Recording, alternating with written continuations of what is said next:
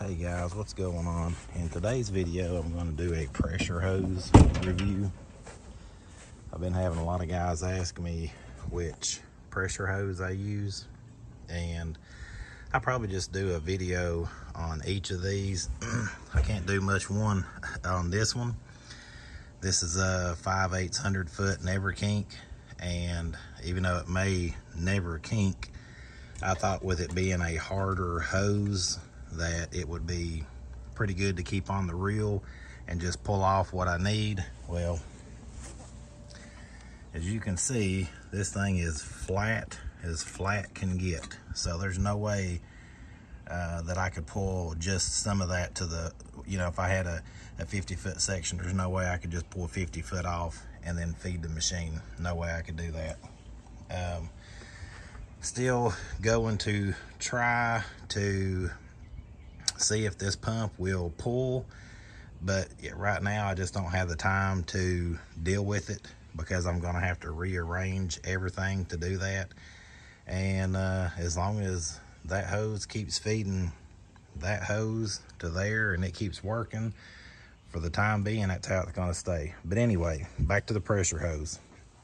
The hose I've been using this year, I've been using both of them actually. This is the, we'll see here, the HPC 4000 PSI 3 8 I got this from pressuretek.com like I get most of my stuff. a 100 foot section I think is $150. You can get 50 foot sections. The only reason that I used this is when I was getting my Suttner hose, they were out. So it was either try to get some off of Amazon or get this one, okay? Well, the Suttner hose, you can see this right here is smooth. This is the HPC. This right here, you can hear it. You don't hear nothing there, you can hear that. It has a texture to it, and I don't know if that's gonna be good or bad. Now these Suttner hoses, I have absolutely nothing bad to say about them. Uh, the only ones that ever messed up on me were the ones that got used a whole lot and then the ones that I let freeze and bust. So the only reason I got these, the HPC, this one here, and it's one wire. Uh, I'm not gonna spend the money on two wire. I've not had any blowouts. And even guys that run bigger machines than mine still just say they use one wire. So the one wire's been fine for me. So that's what I'll use until, you know, something messes up uh, or makes me change my mind. But they, of course, they got the 3 8 connectors on it. What I like about it is it's smooth. When you're doing uh, a house and you're pulling around, say, like a wood deck or uh, anything wood, a, a porch railing, a step rail, anything like that, if you pull hard enough trying to pull your hose and you're using this Suttner and it has that texture to it, it'll take that it'll take those particles off. You'll see a rub mark like a burn mark if you pull it.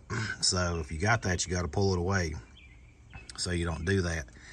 But this HPC hose, I've been using this now. This is June, and we've been washing since January. So I've been using this since, well, I got it at the end of Jan uh, December. But six months now, we've been using it. It's been sitting out in the weather, getting used, drugged, washed, rained. Uh, you can see some wear on it, just like you can any of the hoses. The reason that I have the section here is this outside section is the section that really gets you know exposed to the weather the top i got 200 foot two 100 foot sections on here and the 100 foot that's the, on the first to come off the spool or the reel is the one that's going to take all the weather because it's covering the rest of the hose for the biggest part. So six months in, I feel like I can give a good review on this and, and say that for the money, well, it isn't even for the money. I just like it. I don't think that it's any cheaper or expensive than the Suttner. So when I needed to order another 100 foot section for a backup, I ordered the HPC, even though they had the Suttner in stock. It's smooth when, you know, if you guys are like me, if you look in my truck, I always have t-shirts here. So when I'm reeling it up, I'll hold that t-shirt over the hose and let it, you know, roll through. And this smooth hose, everything rolls off of it to where you can see the Suttner, it's like stained because it gets into those grooves. And it's not so much a cosmetic thing like what you like to see or you don't like to see. It's just the dirt and leaves and grass and everything just comes off when you're rolling these hoses through your hands a lot better with this HPC. So when I needed a 100 foot section, that's what I got. I got a new HPC uh, from PressureTek.com. So that's the hose, the pressure hose I use. It's 3 eighths, one wire. I use 100 foot sections because I do have it plumbed into this general pump hose reel and a whip line over to the pressure washer. I pull off what I need and go, and it always works good. So uh, anyway, that's my time for today. For you guys that's been wondering about a pressure hose, what I use, that's what I use.